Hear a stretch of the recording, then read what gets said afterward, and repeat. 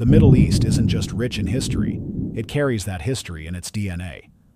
We've all heard of the biblical tribes, but how much do we really know about their genetic legacy?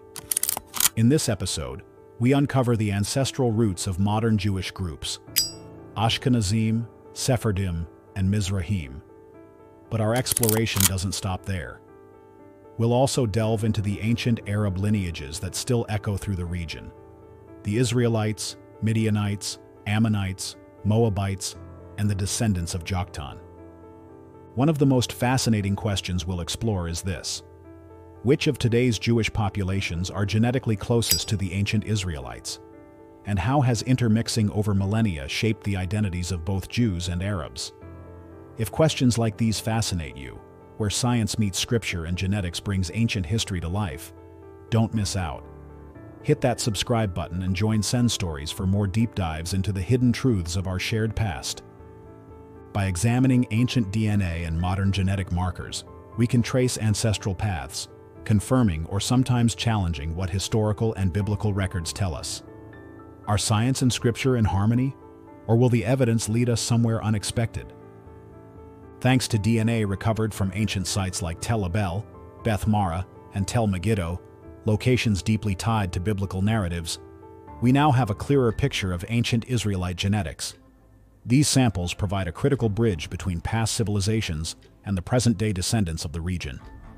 Ancient Israelites descended from a blend of three main genetic groups, Natufians, Neolithic Anatolians, and Neolithic Iranians.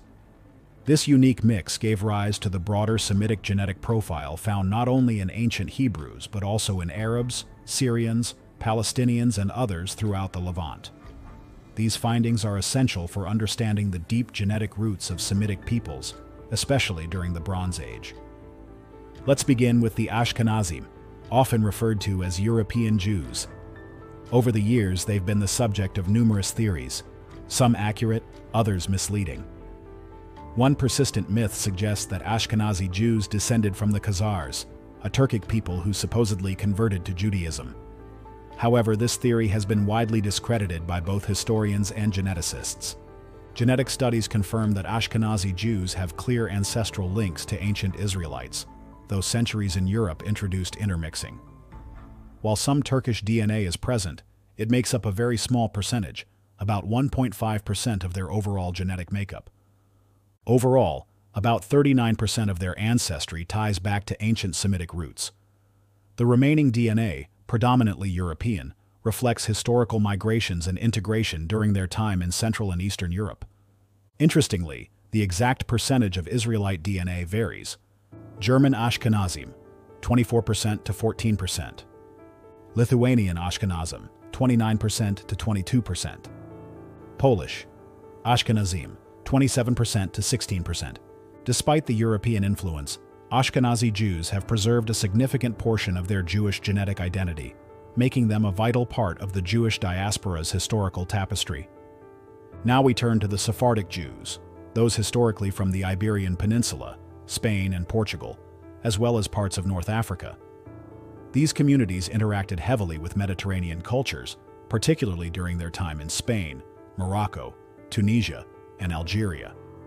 Sephardic Jews typically carry 40% to 50% ancient Israelite Semitic DNA, slightly higher than Ashkenazim.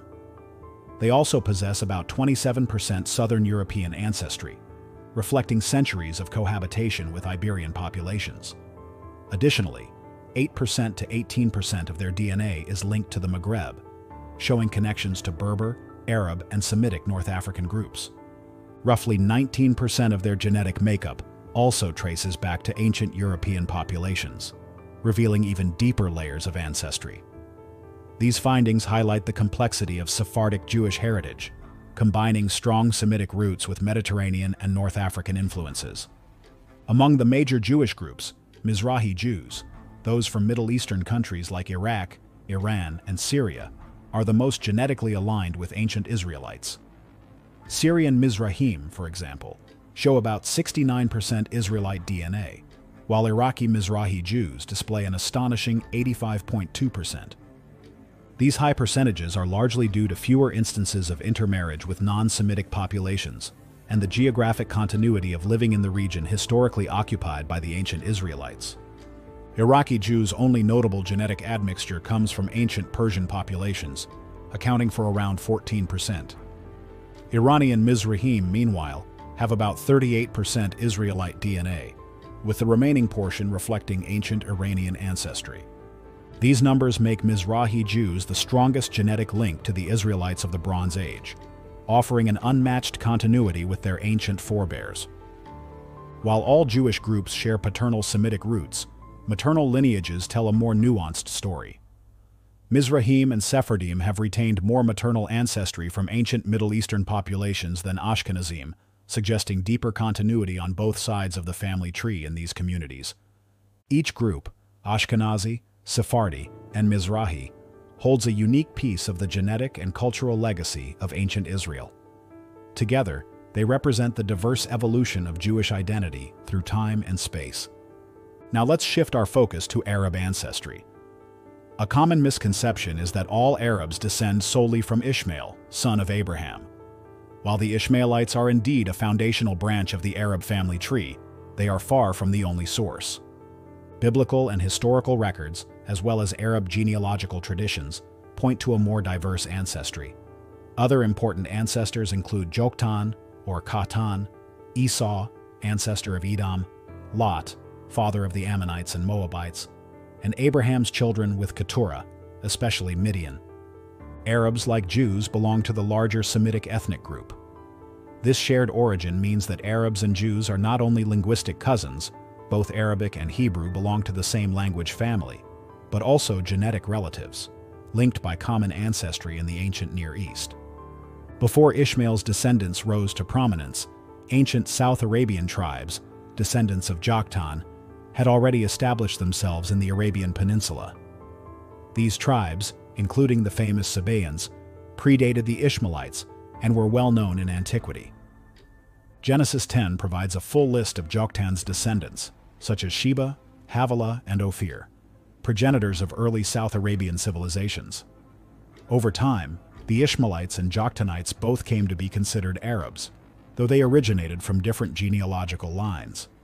Many biblical figures gave rise to Arab tribes.